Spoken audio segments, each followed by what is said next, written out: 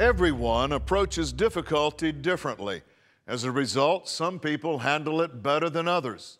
When you see people handling adversity poorly, don't disregard them or get mad at their choices. Love them through it.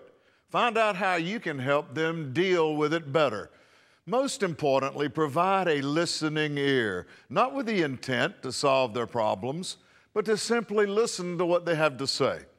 Remember, life is about more than finding ways to succeed personally. It's about learning to bring others with us. As Booker T. Washington stated, I began learning long ago that those who are happiest are those who do the most for others. I'm Mac Hammond. This is a Winner's Minute.